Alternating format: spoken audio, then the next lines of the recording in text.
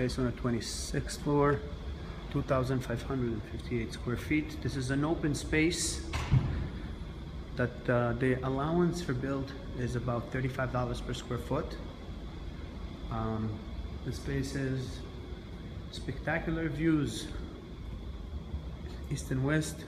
You have the Whole Foods. This is the parking. This is the Epic Hotel and the Marriott Marquis. SunTrust building. And on the other side you can see Icon Brickell. The other side of the space gives you the views of Brickell Key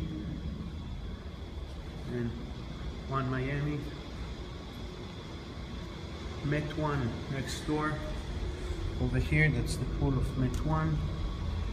This space can modify. It's going to take longer than one month. Uh, take this space and make this uh, what you guys want, but that gives you an open slate to do whatever you choose within the allowance or to add more and get